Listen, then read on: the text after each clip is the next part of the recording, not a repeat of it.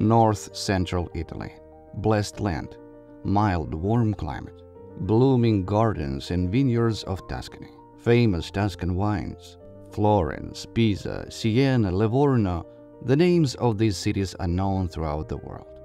Between them are picturesque villages and settlements scattered across beautiful hills that just beg to be painted on canvas. And the hills themselves seem to have come from the brush of the artist.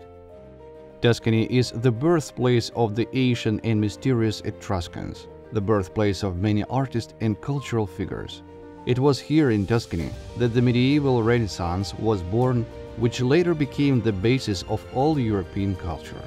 Banking, which has fallen into oblivion after the collapse of the ancient Roman Empire, was also revived here. The Second World War seemed to have spared this blessed region, with all the major battles taking place somewhere in the distance. But the summer of 1944 changed everything. The advancing Anglo-American troops pushed the Germans and the defeated remnants of Mussolini's army to these Tuscan hills and mountains, the foothills of the Alps. In the mountains of Tuscany, a partisan anti-fascist movement was organized behind Hitler's lines. In search of partisans, on August 12, 1944, Hitler's punitive forces descended on the unremarkable Italian village of St. Anna di Stazzema which God had until then protected from all troubles and misfortunes.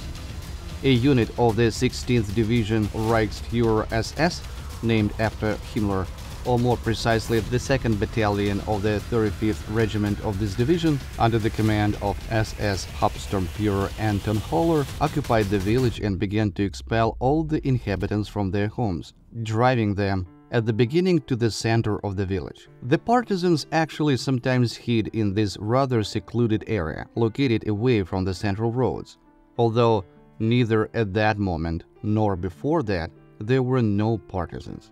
However, this fact did not bother the Nazi punitive forces at all. They decided to teach the villagers a lesson, using the example to show neighboring villages how dangerous it can be to welcome partisans. Together with the German thugs, a couple of dozen Italian fascists, traitors to their people, also took part in the massacre of the village residents.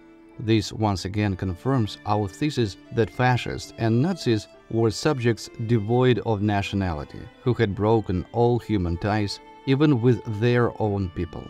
People did not understand what they wanted from them and why they were being driven to the center of the village and then taken in batches to the local church building to the mill premises, and also to nearby barns and stables. At that time, there were 560 residents of all ages in the village, including 107 children and 8 pregnant women. It was a hot, sunny August day. Fruits were ripening on the trees. Birds were singing in the gardens. Flowers pleased the eye with their beauty. But this did not touch the people dressed in gray-green uniforms. The SS men methodically and routinely took people out in small groups and shot them with a machine gun. Some were driven into basements and pelted with grenades. Apparently, it was some kind of entertainment. Far beyond the village, the screams of women and frightened children could be heard. Cows mooed, horses neighed. The animals sensed the misfortune that had befallen everyone. But Hitler's soldiers as if nothing had happened, continued to do their dirty work. In the church of Santa Anna, where about a hundred people had gathered, the first to be killed was the priest Fiore Manguso, and then the executioners began firing bursts at everyone in the church. Those residents who managed to escape from the church came under fire from the SS men standing in the churchyard. These monsters tore open the belly of Evelina Berretti, who was eight months pregnant, cut open the uterus and killed the screaming child who was born. The youngest of the children, Annie Pardini, was only 20 days old, but this did not affect her terrible fate. The baby was pierced with a bayonet, like some kind of doll. Neither the cries of children nor the pleas of helpless old men and women stopped the hand of the executioners. The benches in the church were broken down and a fire was made, onto which the corpses of the murdered people were dragged and thrown. They forced the survivors to do this terrible work and then they were finished off. The bloody massacre lasted two hours. The unfortunate people did not understand why they were being killed, why they suffered such torment. Children were killed in front of their parents, parents in front of their children. It seemed like the SS men were aliens from another planet who did not have any feelings for people. When the people ran out, the killers turned to the animals. They killed everyone livestock, dogs, cats, killed them without any reason, just for fun. Having had enough of the sight of blood, the Nazi calmly sat down to dinner amidst the carnage they have caused. After having a hearty lunch, the Nazis set fire to the village and left the crime scene. They acted calmly, confidently, without fuss, as if they were doing everyday work, like some zombies from a horror movie. Fascist, ready for any crime. Unfortunately, after the Second World War, only the division commander, a certain Mike Simon, was held accountable for the atrocities committed. All the direct perpetrators of the crime escaped punishment. In general, both Germany and Italy did not publicize this crime for a long time. The general public became aware of it only in the late 80s of the last century.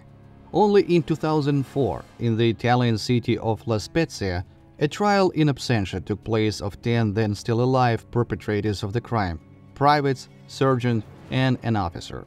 The trial in absentia was due to the fact that Germany refused to hand over the executioners to Italian justice, considering the arguments of the Italian side unsubstantiated. By the way, in Tuscany on August 23, 1944, 11 days after St. Anna, in the village of Padul di Fucecchio, another crime was committed. Officers and soldiers of the 26th Panzer Division of the Wehrmacht carried out a massacre, killing 174 people, local residents, among whom were also women and minor children. The monstrous murder was committed in retaliation for the partisans who had previously killed two servicemen of the 26th Division. Without finding the partisans, the Nazi dealt with the civilian population. The same story repeated itself. Only the division commander Edward Greisman was brought to justice, who received a 10-year prison sentence after the war and died in prison. The rest of the criminals lived happily to a ripe old age. In 2011, an Italian court sentenced 90-year-old criminals still alive to life imprisonment. But Germany again refused to extradite these people. In 2011, an Italian court sentenced 90-year-old criminals still alive to life imprisonment. But Germany, again, refused to extradite these people. In 2008, a feature film by American director Spike Lee was released, The Miracle of Saint Anne, based on documentary evidence. The film, vividly and brilliantly, tells about the crime of the Nazis in Santa Anna. Filming took place directly at the scene of the event. During filming, people who survived the horrors of war members of the Italian resistance, children of war who saw with their own eyes the atrocities of the Nazis, came to Santa Anna. People cried and thanked the director and actors for telling younger generations about those terrible years.